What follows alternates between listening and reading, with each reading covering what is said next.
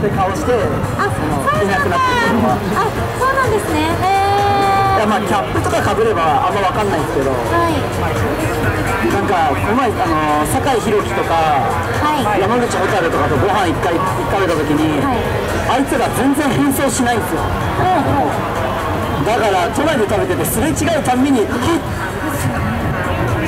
俺とあと比嘉祐介っていうあのイカチ選手と一緒に4人でご飯食べたんですけどだからあ俺ももう気にしなくていいやと思って今はもう全然キャップとかかぶんなくなってる。あいつら気にしてねえですすごい。ですねはってそれはみんななりますよね。なりますよ。暑い